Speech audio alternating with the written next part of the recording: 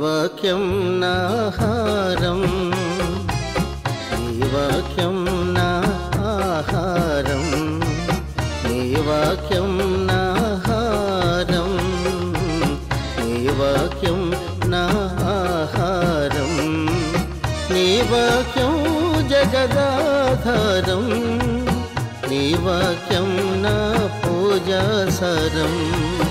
నా నీ వాక్యం జగదాధారం నీ వాక్యం నా పూజాసారం. లేఖనాలలో సంతోష ఆనందాలు.